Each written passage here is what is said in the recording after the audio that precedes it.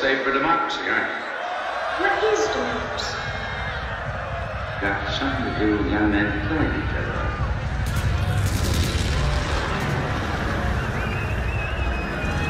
For democracy, any man is his only begotten son.